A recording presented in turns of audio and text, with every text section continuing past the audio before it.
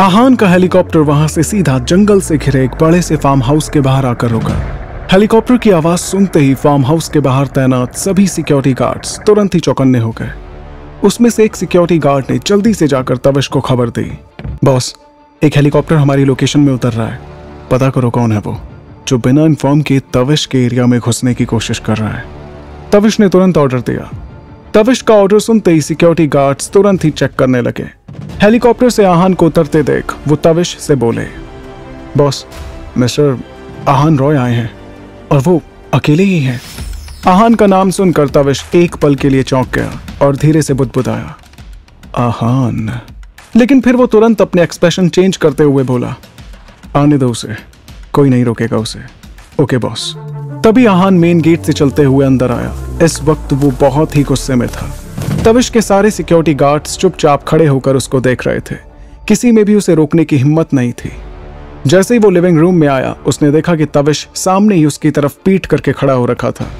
उसके कदमों की आवाज़ सुनकर तविश बिना मुड़े ही बोला welcome mister Aahan Roy welcome उम्मीद नहीं थी कि हमारी दूसरी मुलाकात इतनी जल्दी होगी। सुना है तुम्हारे साथ कोई हादसा हुआ? उफ, काफ़ी अच्छी किस्मत है तुम्हारी, जो तुम बच गए। ये कहते हुए उसने आहान की तरफ़ पलटते हुए एक स्माइल दी ही थी कि तभी आहान का गुस्से से भरा एक जोरदार पंच उसके मुँह पर पड़ा। तुम्हारी हिम्मत कैसे हुई इतना भद्दा मज़ाक करने की? आहान ने तविश का कॉलर पकड़ते हुए कहा। आहान का पंच पड़ते ही तविश के होठों के किनारों से खून आने लगा था। उसने अपनी उंगलियों से अपने होठ से निकलते खून को साफ़ किया और हँसते हुए बोला हाँ हाँ सुना मैंने। तुम्हारे साथ वो तुम्हारी सो कॉल डिज़ाइनर भी मरते मरते बची है। क्या नाम था उसका? आ, हाँ हाँ याद आया। शारवी। जैसे आहान ने तविश के मुँह से शारवी का नाम सुना आहान का खून खौल उठा और वो फिर से तविश को एक मुक्का मारते हुए बोला अपनी गंदी जबान से उसका नाम भी मत लेना। ये सुनकर तविश हँसते हुए ही बोला एक मामूली सी डिज़ाइनर को बचाने के लिए तुम खुद समंदर में कूद गए। वो भी शार्क के सामने। वो तुम्हारी डिज़ाइनर ही है ना? या फिर कुछ और? वैसे तुम्हारी तड़प देखकर तो ऐसा लगता है, मिस्टर रॉय, कि बहुत ही गहरा प्यार है, जो उसके लिए तुम सीधा मेरे दरवाजे तक आ गए। वो भी अकेले। वैसे आहान, दाद देनी होगी तुम्हारी हिम्मत को। अकेले आए हो? तुम, तुम्हारे लिए मैं अकेला ही काफ़ी हूँ। ओ, आहान, मैं तो डर गया। कहीं आहान, तुम्हें ऐसा तो नहीं लग रहा कि उसे समंदर में मैंने ही धक्का दिया था? ये कहकर तविश ज़ोर ज़ोर से हंसने लगा। उसकी बात सुनकर और उसे ऐसे हँसते देख आहान का गुस्सा आउट ऑफ़ कंट्रोल हो गया। और वो एक के बाद एक तविश को पंच मारने लगा। तविश को ऐसे मार खाते देख उसके बॉडीगार्ड्स उसे बचाने के लिए आगे बढ़े ही थे। तभी तविश अपना एक हाथ दिखाकर उन्हें रोकते हुए बोला, कोई आगे नहीं आएगा। ये मेरे और आहान के बीच की लड़ाई है और इसे खत्म भी हम दोनों में से कोई एक ही करेगा। ये कहकर तविश ने भी आहान के मुँह पर एक मुक्का मारा, जिससे आहान लड़खड़ाकर एक कदम पीछे हो गया। अब उन दोनों के बीच की हाथापाई शुरू हो चुकी थी। कभी आहान तविश पर भारी पड़ता तो कभी तविश आहान पर। आहान की मार से तविश लड़खड़ा कर नीचे गिर गया, कि तभी आहान ने अपनी कमर से गन निकालकर उसके माथे पर रखते हुए कहा, अगर शारवे को कुछ भी हो जाता ना तो मैं तुझे ऐसी मौत देता कि तेरी रूह काँप उठती। मैंने एक बार तुझे ज़िंदा छोड़ने की गलती कर दी थी तविश, लेकिन लेकिन इस बार नहीं। आज मैं हमेशा हमेशा के लिए तेरा कस्सा खत्म कर दूँगा। मुझे अफसोस होता है कि तू कभी मेरा दोस्त था। ये सुनकर तविश मुस्कुराकर आहान की आँखों में आँखें डालकर बोलता है, तुम्हें वाकई में ऐसा लगता है? शारवी को मैंने मारने की कोशिश की है? तो चला गोली आहान और उतार दे सारी की सारी गोली मेरे सीने में। लेकिन मैंने पहले भी कहा था और आज भी कहूँगा, ना मैंने पहले उसे मारा था और ना आज शारवी को मारने की साजिश में मेरा कोई हाथ है। बेशक मैं तुझे हारते हुए देखना चाहता हूँ। पर मैं इतना इतना भी पुस्तल नहीं कि इसके लिए मैं किसी मासूम लड़की की जान लेने की कोशिश करूँ। तविश की ये बात सुनकर आहान एक पल के लिए खामोश हो गया और उसकी पकड़ अपनी गन से थोड़ी ढीली हो गई। लेकिन अगले ही पल गुस्से से अपनी उंगलियाँ ट्रिगर पर रखते हुए वो बोला, मैं चाहूँ तो अभी के अभी ये सारी खोलियाँ तेरे भेजे में उतार सकता हूँ और एक सेकंड नहीं लगेगा मुझे। पर अभी मेरे पास कोई सबूत नहीं है तेरे खिलाफ। इसलिए तुझे ज़िंदा छोड़ रहा हूँ। लेकिन अगली बार अगर तूने शारवी की तरफ़ आँख उठाकर भी देखा ना, या तेरी वजह से उसे एक खरोच भी आए तो आई स्वेर तवश वो दिन तेरी ज़िंदगी का आखिरी दिन होगा। It? ये कहकर आहान ने तविश को पीछे की तरफ़ धक्का दिया और वहाँ से वापस जाने लगा। उसको जाता देख तविश ज़मीन पर पड़े पड़े ही चिल्लाकर बोला, तुम मुझे इसलिए नहीं छोड़ रहे आहान कि तुम्हारे पास कोई सबूत नहीं है। बल्कि तुम मुझे इसलिए नहीं मार सके क्योंकि कहीं ना कहीं तुम्हारा दिल भी जानता है कि मैंने उसे नहीं मारा। नहीं मारा था मैंने उसे। वरना जैसा आन रॉय को मैं जानता हूँ, वो किसी भी अपने को नुकसान पहुँचाने वाले को नहीं छोड़ता, कभी नहीं छोड़ता। और यहाँ तो तुम्हारे प्यार की बात है। पर अफसोस कि तुम आज तक नहीं जान पाए आहान तुम आज तक नहीं जान पाए। लेकिन आहान ये सुनकर भी बिना पीछे मुड़े वहाँ से सीधा निकल गया। आहान के वहाँ से जाते ही तविश के बॉडीगार्ड्स ने उसके पास आकर उसे खड़े होने में उसकी मदद की। तविश की निगाहें अभी भी उसी तरफ़ थीं, जहाँ से आहन बाहर गया था। वो खुद से ही बोल रहा था, मैंने उसे नहीं मारा था आहान मैं उसे मार नहीं सकता था।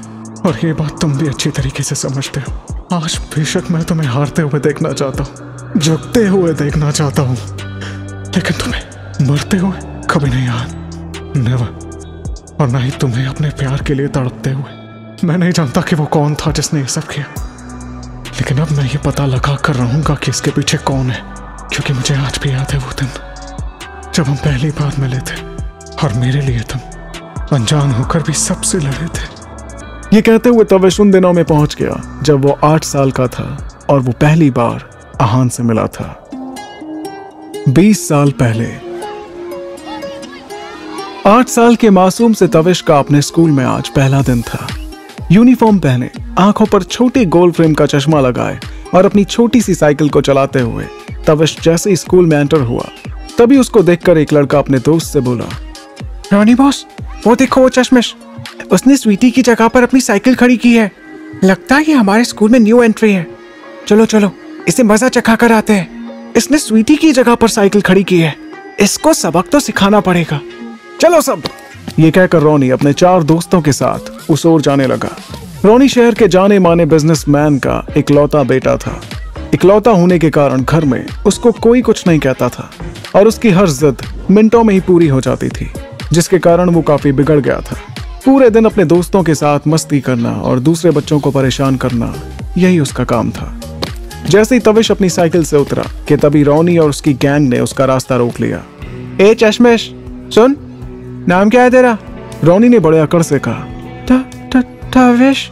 तविश ने घबराते हुए धीरे से कहा। तविश क्या? अरे देखो सब लोग, इसे तो ठीक से बोलना भी नहीं आता। और ये हमारे स्कूल में पढ़ने आया है। रोनी ने हँसते हुए कहा। ये सुनकर उसके बाकी सभी दोस्त भी हंसने लगे। तभी रोनी फिर से अकड़ते हुए बोला, ए, चश्मेश, तूने हमारी दोस्त की जगह पर अपनी साइकिल खड़ी की है। चल हटा इसको, वरना अभी तेरी साइकिल और तुझे दोनों को स्कूल के बाहर फेंकवा दूँगा। रोनी के इतना कहते ही उसके गैंग के लोग अपने बाजू ऊपर करते हुए आगे की तरफ़ बढ़ने लगे। सीधा साधा और कम से कम बोलने वाला तविश उन सब के ऐसे बोलने से काफ़ी डर गया था।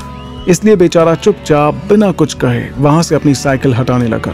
जैसे ही वो वहाँ से मुड़ा, तभी रोनी ने अपना पैर अड़ाकर उसे नीचे गिरा दिया। तविश के ज़मीन पर गिरते ही उसका चश्मा भी उसकी आँखों से हटकर नीचे गिर गया।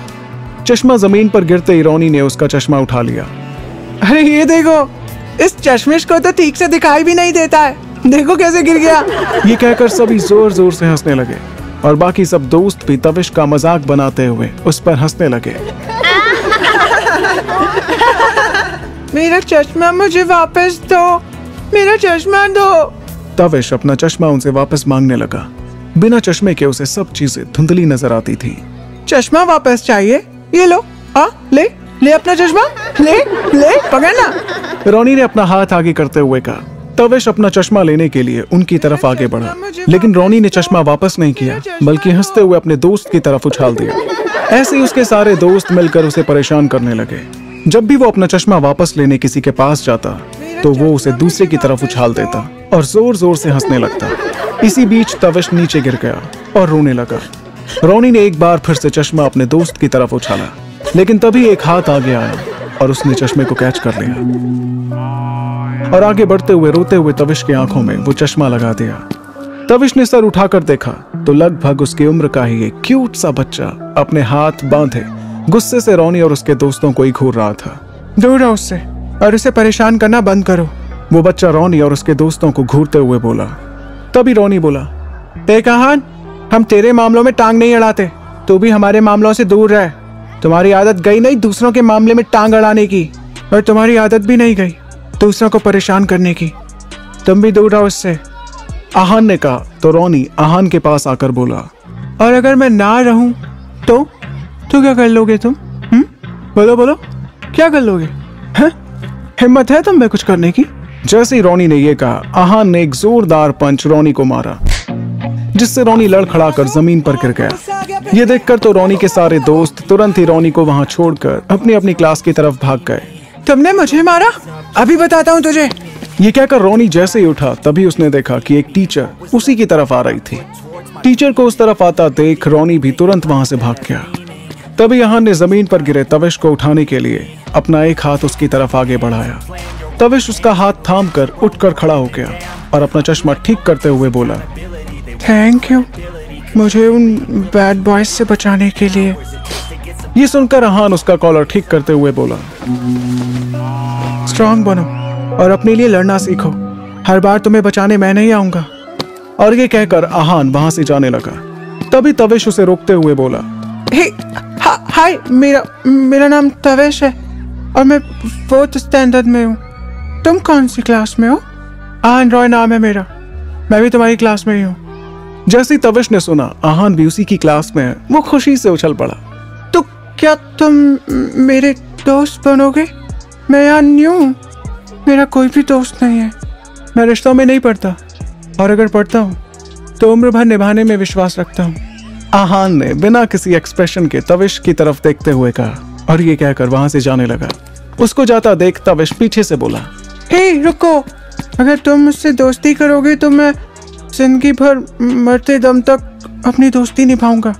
गॉड प्रॉमिस ये सुनकर आहान बिना पीछे मुड़े ही चलते चलते बोला क्लास का टाइम हो गया है। लेट हुआ तो मैम क्लास में एंट्री भी नहीं देगी और ना ही मेरे बगल वाली सीट मिलेगी। इसलिए बातें बंद करो और जल्दी से मेरे पीछे आओ। हे हे इसका मतलब तुमने मेरी फ्रेंडशिप एक्सेप्ट कर ली? ये कहकर तविश तुरंत ही खुश होते हुए आहन के पीछे दौड़ गया और उसका हाथ थाम लिया और दोनों साथ साथ ही क्लास में जाने लगे। दूसरी तरफ़ सेकंड क्लास के बच्चों के बीच अचानक ही शोर मचना शुरू हो गया था। एक बच्चा चिल्लाते हुए बोला ए राजू ए पिंकी राहुल अंजलि वो देखो सनम आ रही है। क्या? सनम आ गई? सनम। कहा सनम? सारे लड़के आपस में चिल्लाने लगे और ज़ोर ज़ोर से हंसने लगे। तभी क्लासरूम में एक छह साल के छोटे से गोलू मोलू बच्चे ने एंट्री ली। गोरा रंग चबे चिक्स माथे पर बिखरे बाल। स्कूल यूनिफॉर्म पहने वो बच्चा बहुत ही क्यूट लग रहा था। तभी एक छोटी सी लड़की शर्माते हुए बोली ए सनम तुम आ गए? क्या तुम आज भी मेरे लिए चॉकलेट लाए हो? देखो मैंने आज भी अपनी डेस्क पर तुम्हारे लिए खाली जगह छोड़ी है। उस क्रिश को भी नहीं बैठने दिया। तभी वो लड़का उस लड़की को देख अपने बालों में हाथ फेरते हुए बोला उफ सनम नहीं ऐसा इट्स ऐसा मैंने तुम्हें कितनी बार समझाया? मुझे सनम नहीं एसार बोला करो खुशी। अगर तुमने मुझे फिर से सनम बोला तो मैं प्रिया के पास वाली सीट पर बैठ जाऊँगा और अपनी चॉकलेट भी उससे ही शेयर करूँगा फिर और उसे अपनी गर्लफ्रेंड बना दूँगा। ये सुनकर वो लड़की बोली ओके ओके एस आर मैं अब तुम्हें एस आर ही बोलूँगी। पर तुम प्रिया के पास मत बैठना। तुम्हारी गर्लफ्रेंड तो मैं ही हूँ ना। ओके। तो फिर चलो। ये कहकर एसआर उस लड़की का हाथ पकड़कर अपनी सीट की तरफ़ बढ़ गया। थोड़ी देर में उनकी क्लास टीचर आकर उनकी प्रेजेंट लगाने लगी। Anjali. Yes ma'am. Rahul. Yes ma'am. Sonu. Yes ma'am. Sanam. Yes ma'am. और फिर जैसे ही सनम का नाम आया तो सारे बच्चे ज़ोर ज़ोर से हंसने लगे जिसकी वजह से एसआर मायूसी से अपना सर झुकाकर बैठ गया। तभी एक लड़के की पीछे से आवाज़ आई मेरे दोस्त का नाम सनम नहीं एसआर है मैम एसआर समझ गई ना आप? इसलिए आज से आप भी उसको एसआर बुलाइए। ये सुनकर मैम उस बच्चे को देखकर उसे अपने पास बुलाते हुए बोली। इधर आओ। आओ इधर। जल्दी आओ। तभी वो बच्चा बड़े ही आराम के साथ अकड़ते हुए आगे आते हुए बोला अब आपको इतनी सी बात के लिए मुझे गले लगाकर थैंक्स बोलने की ज़रूरत नहीं है मैम तभी उस लड़के के गाल पर एक ज़ोर से चांटा पड़ा। चटाक। मैम उसको डांटते हुए बोली तुमसे किसी ने पूछा? मुझे बताओगे तुम? किसका नाम क्या है? पढ़ाई तो तुमसे होती नहीं है। जाओ जाकर क्लास के बाहर हाथ ऊपर करके खड़े हो जाओ। तभी वो लड़का अपना गाल सहलाते हुए बोला ये मैम के नाजुक दिखने वाले हाथ हथौड़े की तरह क्यों पड़ रहे हैं? हैप्पी कौन हैप्पी कर दिया इन्होंने। ये कहकर वो मुँह लटकाते हुए चुपचाप क्लास से बाहर जाने लगा। तभी उसके पीछे पीछे एसआर भी क्लास से बाहर जाने लगा। ये देखकर टीचर बोली अब तुम कहाँ जा रहे हो सनम? वो हैप्पी बाहर अकेले खड़ा है ना मैम? अनहैप्पी रहेगा ऐसे तो। तो मैं उसके साथ जा रहा हूँ। Ma'am it's S R not Sanam please SR ने बड़ी मासूमी के साथ कहा। एसआर की बात सुनकर टीचर उसे घूरते हुए बोली निकलो। तुम भी क्लास से बाहर निकलो। आज ही प्रिंसिपल से तुम दोनों की शिकायत करनी पड़ेगी। ये कहकर टीचर ने एसआर को भी क्लास से बाहर कर दिया। क्लास के बाहर खड़ा हैप्पी एसआर से बोला एक बात बताओ मेरे दोस्त तुम्हारा नाम सनम रखा तो रखा किसने? आज तक तुमने ये बात मुझे नहीं बताई। क्या वजह है इसके पीछे जो तुमने मुझसे छुपाई? ये सुनकर एसआर मुँह लटकाते हुए बोला, मेरा नाम मेरी दादी ने रखा है। मेरी दादी हिंदी फ़िल्मों की बहुत बड़ी शौकीन है और बहुत प्यार करते हैं तुमको, सनम। मेरी दादी का फेवरेट सॉन्ग है। तो जब भी खुश होती है तो यही गाना गुनगुनाती है। जब मैं पैदा हुआ तो नर्स ने दादी के हाथ में मुझे देते हुए पूछा, लेकिन मेरी दादी मुझे देखकर इतनी खुश हुई कि उन्होंने नर्स की बात भी नहीं सुनी और प्यार से मेरा माथा चूमते हुए गाना गाने लगी। बहुत प्यार करते हैं तुमको, सनम। और सनम वर्ड उन्होंने इतनी ज़ोर से बोला, इतनी ज़ोर से बोला कि नर्स को लगा कि मेरा नाम ही सनम रखना है। बस फिर क्या था? मेरे बर्थ सर्टिफिकेट पर मेरा नाम सनम पड़ गया और फिर दादी ने भी चेंज नहीं करने दिया। दादी मेरा एडमिशन कराने स्कूल आई थी क्योंकि मेरी माम के पास तो मिलने टाइम ही नहीं है। और दादी प्यार से मुझे सनम ही कहकर बुलाती है। ये सुनकर हैप्पी बोला। अच्छा हुआ भाई जो तुम्हारी दादी का फेवरेट गाना ओ मेरी परम परम परम सुंदरी नहीं था। स्कूल की छुट्टी होते ही एसआर और हैप्पी अपनी क्लास से ग्राउंड की तरफ़ जा ही रहे थे कि तभी एक आठ साल की लड़की जो उनसे आगे चल रही थी उसके बैग से वाटर बॉटल निकलकर नीचे गिर गई। ये देखकर एसआर भागकर उसके पास गया और उसकी वाटर बॉटल उठाकर उसको देते हुए बोला हे ब्यूटीफुल रुको। ये ये लो तुम्हारी वाटर बॉटल नीचे गिर गई थी। मैंने देख ली थी। वो लड़की एसआर के हाथ से वाटर बॉटल लेते हुए बोली ओ थैंक यू बेबी तुम कितने क्यूट हो। तुम भी बहुत सुंदर हो। क्या मैं भी तुम्हारे गाल पर किस कर दूँ? ये कहकर एसआर ने भी उस लड़की के गाल पर किस कर दिया जिससे वो लड़की मुस्कुराते हुए वहाँ से चली गई। एसआर और हैप्पी भी वहाँ से जाने लगे कि तभी उसके सामने रोनी और उसकी गैंग आकर खड़ी हो गई। रोनी एसआर को घूरते हुए बोला ए छोटा पैकेट तेरी हिम्मत कैसे हुई? स्वीटी को किस करने की? वो मेरी गर्लफ्रेंड है। उसने मुझे किस किया तो मैंने भी कर दिया। और अगर वो तुम्हारी गर्लफ्रेंड है तो उसने मुझे किस क्यों किया? अब से वो मेरी गर्लफ्रेंड है। तुम्हारी नहीं एसआर रोनी को घूरते हुए बोला। ये सुनकर रोनी गुस्से से एसआर को धक्का देते हुए बोला।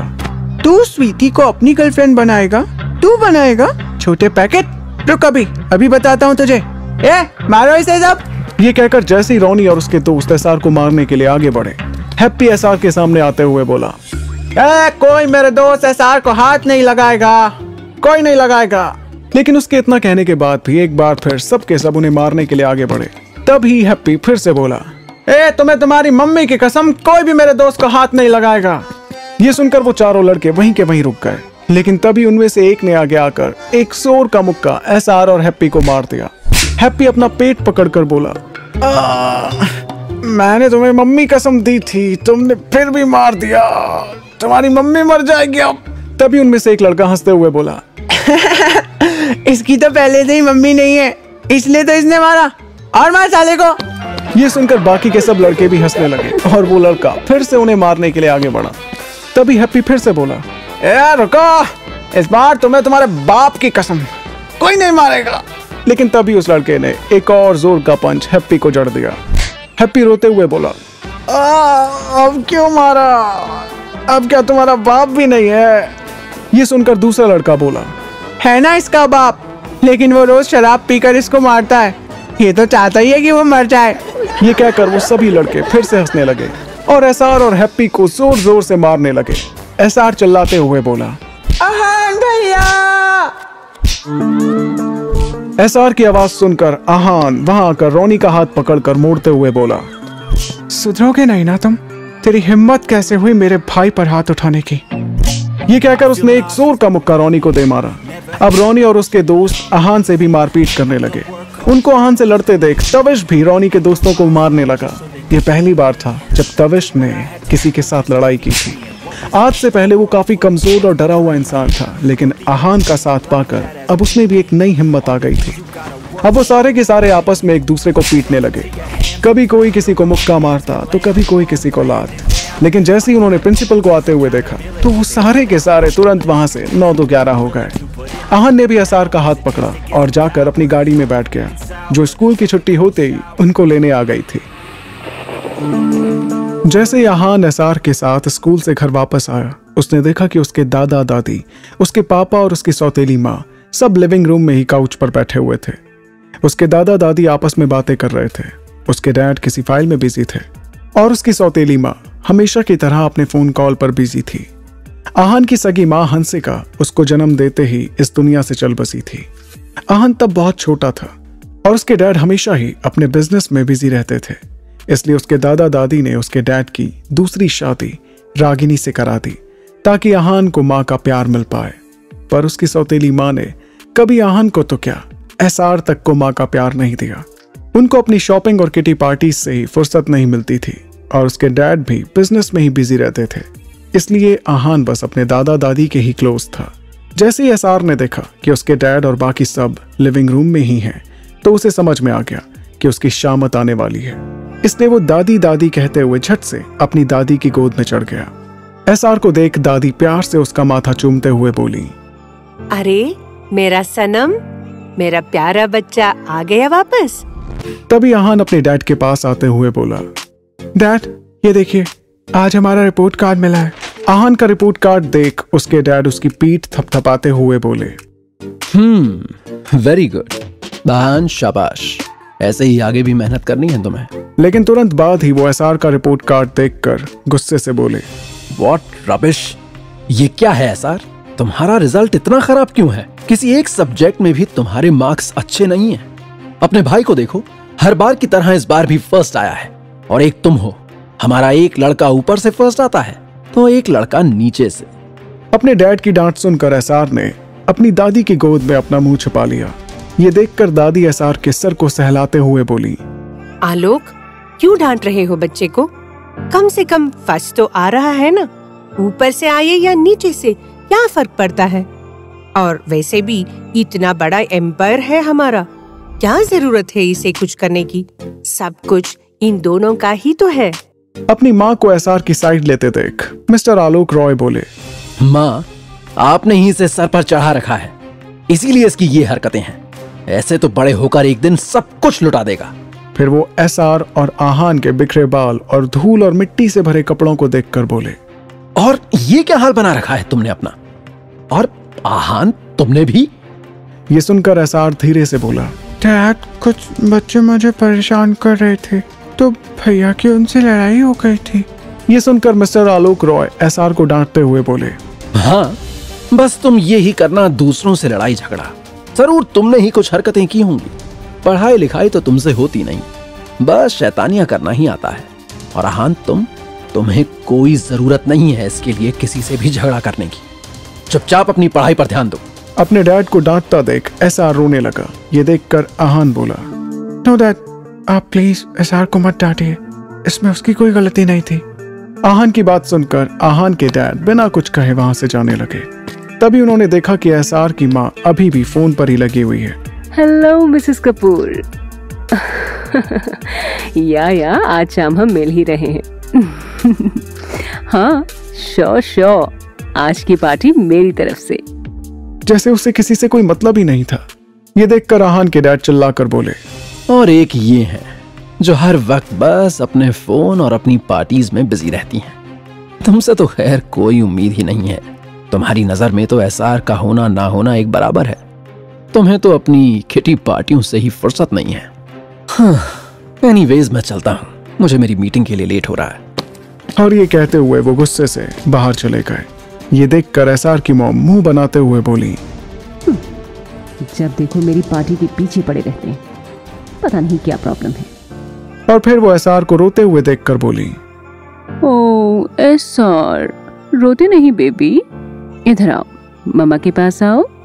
लेकिन इससे पहले कि एसआर अपनी माँ के पास जाता उससे पहले ही उनका एक कॉल आया और वो दूसरी साइड चली गई। अब एसआर अपना मुँह लटकाए अपने कमरे की तरफ़ जाने लगा। ये देखकर दादी भी उसके पीछे पीछे कमरे में चली गई। उन्होंने देखा कि एसआर बेड पर बैठा सुबक रहा है। ये देखकर दादी बोली अरे मेरा सनम। ये सुनकर एसआर रोते हुए बोला मुझे कोई प्यार नहीं करता दादी। सबके सब भैया कोई प्यार करते। पापा भी हमेशा मुझे डांटते रहते। और मम्मा भी अपनी पार्टीज़ में बिज़ी रहती है। मैं मर क्यों नहीं जाता? कोई मुझसे प्यार नहीं करता। कोई नहीं करता। ये सुनकर दादी एसआर के आँसू पूछते हुए बोली नहीं बेटा ऐसा नहीं बोलते। कौन कहता है आपसे कोई प्यार नहीं करता? आपके दादू आपको प्यार करते हैं। आपका भाई आपको कितना प्यार करता है। और आपकी दादी? दादी तो सबसे ज़्यादा आपसे ही प्यार करती है मेरे बच्चे। तभी उसके दादाजी भी उसके कमरे में आए और प्यार से उसके सर पर हाथ फेरते हुए बोले, कोई बात नहीं बच्चे, तुम पढ़ाई पर थोड़े अच्छे से ध्यान दो। तुम्हारे डैड की तो आदत ही है चिल्लाने की। उसको काम ही इतना होता है कि गुस्सा हर वक्त उसकी नाक पर होता है। अब तुम अच्छे से पढ़ाई करोगे तो ही तो बड़े होकर बिज़नेस में उसका हाथ बटाओगे। फिर देखना वो तुम पर बिल्कुल गुस्सा नहीं करेगा। समझे? ये सुनकर एसार अपनी दादी की तरफ़ देखते हुए बोला जी दादी आप सबसे ज़्यादा मुझसे प्यार करते हो? भैया से भी ज़्यादा? हाँ दादी सबसे सबसे ज़्यादा आपसे ही प्यार करती है। दादी आप। इतनी अच्छी हो। यू आर माय बेस्ट दादी ये कहते हुए एसार मुस्कुराते हुए अपनी दादी के गले लग गया। कुछ दिन बाद स्कूल में न्यू सेशन शुरू हुआ। टोनी और उसके दोस्त आज फिर से गेट के सामने खड़े नए आए बच्चों को परेशान करने में लगे थे कि तभी एक छह से सात साल की क्यूट सी बच्ची अपने हाथ में कॉटन कैंडी फ्लॉस पकड़े हुए अंदर आई। चबी चिक्स दो चोटी और पिंक कलर की छोटी सी फ्रॉक पहने। वो बिल्कुल किसी बाबी डॉल सी लग रही थी। रोनी और उसका पूरा ग्रुप तो आँखें फाड़ फाड़ कर उसे देखे जा रहा था। एसआर ने भी जैसे ही उधर देखा, उसकी आँखों में चमक आ गई और वो मुस्कुराते हुए बोला, कितनी ब्यूटीफुल है ये। एकदम पापी टॉल की जैसे। अब तो यही बनेगी मेरी गर्लफ्रेंड तो कौन थी ये लड़की, जिसकी एंट्री होते ही पूरा स्कूल उसका दीवाना हो चुका था? और क्या एसआर इस पर भी अपना जादू चला पाएगा? जानने के लिए सुनते रहिए। तू जान है मेरे यानी आरजे रिवांश के साथ। और अगर आपने अब तक मेरे चैनल को सब्सक्राइब नहीं किया है तो सबसे पहले चैनल को सब्सक्राइब कीजिए, बेल बटन को प्रेस कीजिए, ताकि स्टोरी से जुड़े अपडेट सबसे पहले आपको मिल सके। तो हँसते रहिए, मुस्कुराते रहिए और सुनते रहिए। तू जान है आरजे रिवांश के साथ। साथ ही थैंक्स बटन को प्रेस कर मुझे सपोर्ट कीजिए।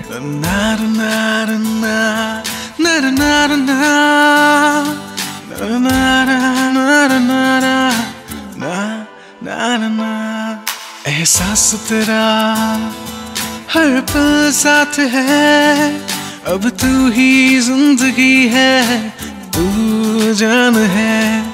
एहसास तेरा हर पल साथ है, अब तू ही ज़िंदगी है, तू जान है।